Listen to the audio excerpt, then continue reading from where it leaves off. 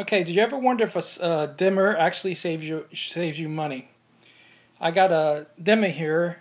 Um, it's basically a, a, a, single pole or a three-way switch. I'm going to use it as a three-way switch for when I actually use it, but I'm going to use it as a single pole right now.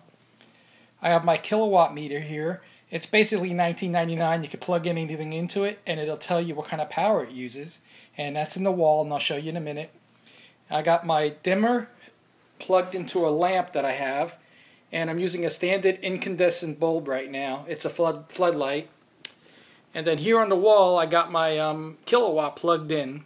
Right now it's not using any wattage because it's turned off. So I'm going to go over here and turn it on. Okay, I have it set to the highest setting. It's a 60 watt um, bulb, so let's see what it's using on, on the Kill A Watt. Alright, as you can see, it's using 59 watts right now. Now I'm going to dim this um, dimmer down, and let's see what happens.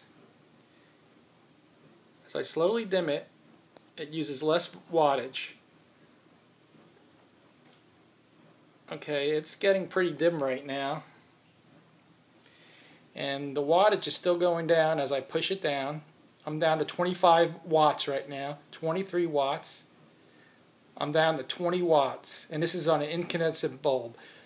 Um, I'm going a little lower. Let's see how low we can get this. Okay, that's already at the bottom without turning it off. It's at um, 8 watts right now.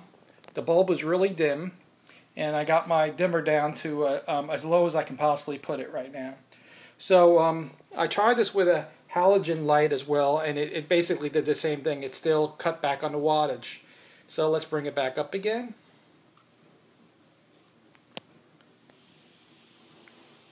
See the lights getting brighter? And my Kill A Watt is saying 58 watts 59 watts like it did before. So by actually using a dimmer you're actually going to be saving money. Um, this Kill A Watt is a really good device. It's really cheap. So um, if you ever wanted to see what something uses you can always buy it. And you just basically plug it in. It has all kinds of statistics in there as well. It could even tell you how much you're using um, on a month or whatever yearly basis. Um, but that's a good test. I've never seen a test like this, and I wanted to try it before I decided on the bulb.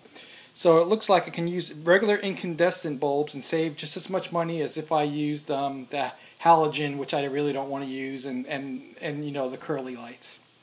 So um, if you have a dimmer, it's going to save you some money. Now these are newer dimmers, not like the old rheostats, but um, the newer ones are saving you money.